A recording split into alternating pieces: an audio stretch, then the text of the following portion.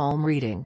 The thing a lot of people do not realize is that, it has a very long history, and what is shown in the media is a fabrication of what palm reading actually is.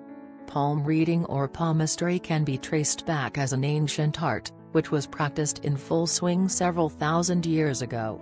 It was born from Hindu astrology, and the first evidence of the practice, can be established in the ancient Chinese texts too.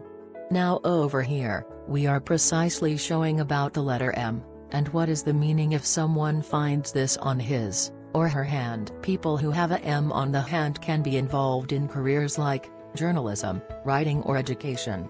Moreover, they are brilliant in making money in life, solely because they mostly flourish in careers, which demand great self-discipline, and self-motivation. People with an M in their hand, are self-motivated, and thus better at making money. The letter M, within the palm, is also a sign of leadership, riches, fortune in life, great prospect. The letter M, has also been associated to good intuition.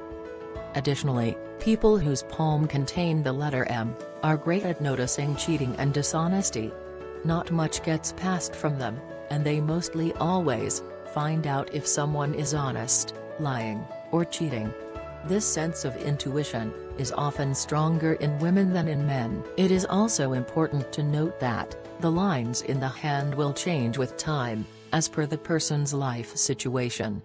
Thanks, for watching.